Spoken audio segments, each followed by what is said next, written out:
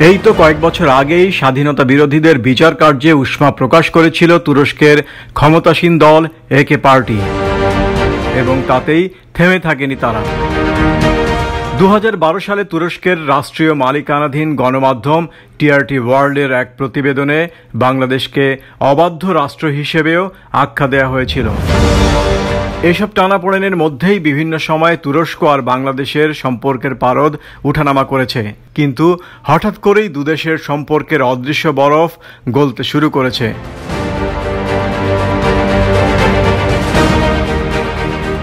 বাংলাদেশকে কাছে টানতে নানা কূটনৈতিক কর্মকাণ্ড শুরু করেছে তুরস্ক। দক্ষিণ এশিয়ার রাজনৈতিক সমীকরণে তুরস্কের কাছে কেন গুরুত্বপূর্ণ হয়ে উঠছে বাংলাদেশ?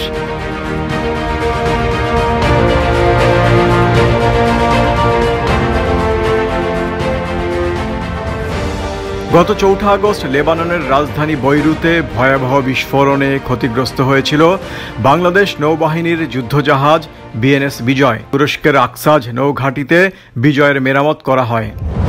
গত ষোলোই সেপ্টেম্বর তুরস্কের প্রতিরক্ষা মন্ত্রণালয় এক টুইট বার্তায় জানায়, দেশ নৌবাহিনীর যুদ্ধজাহাজ বিএনএস বিজয় এখন পুরোপুরি সচল। প্রধানমন্ত্রী শেখ হাসিনা তুরস্ককে বাংলাদেশ নৌবাহিনীর যুদ্ধজাহাজ মেরামতের জন্য ধন্যবাদ জানান।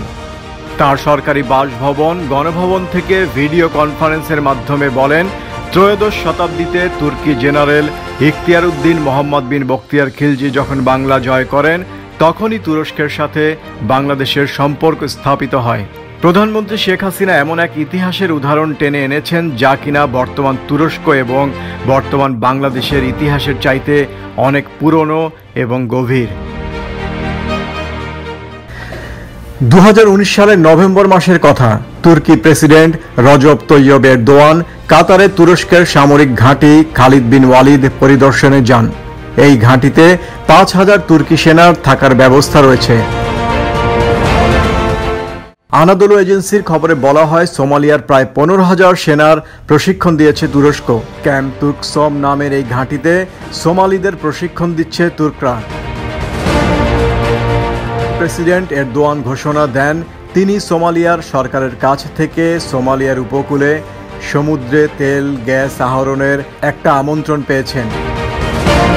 তুরস্ক তেল, গ্যাস আহরণের জন্য ভূমধ্য সাগর এবং কৃষ্ণ সাগরে ব্যাপক বিনিয়োগ করছে এবং তা করতে গিয়ে প্রতিবেশী গ্রিসের সাথে তুরস্কের উত্তেজনাও বেড়েছে। পাকিস্তানের সাথেও তুরস্কের রয়েছে গভীর সামরিক সম্পর্ক।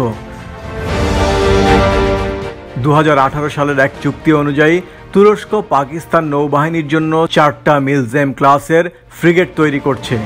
আনাদুল এজেন্সির খবরে বলা হয় দু হাজার উনিশ সালের জুনে পাকিস্তানের করাচিতে দ্বিতীয় ফ্রিগেটের কাজ শুরু হয়। একই বছরের অক্টোবরে তুর্কি শিপইয়ার্ডে প্রথম ফ্রিগেটের কাজ শুরু হয়। সোমালিয়া, কাতার এবং পাকিস্তানের সাথে তুরস্কের সম্পর্ক এটাই নির্দেশ করে যে ভারত মহাসাগরে তুরস্কের অবস্থান শক্তিশালী হচ্ছে। আর বাংলাদেশের সাথে সম্পর্ক উন্নয়নের মাধ্যমে তুরস্ক বঙ্গোপসাগরে তার অবস্থান জানান দেবে।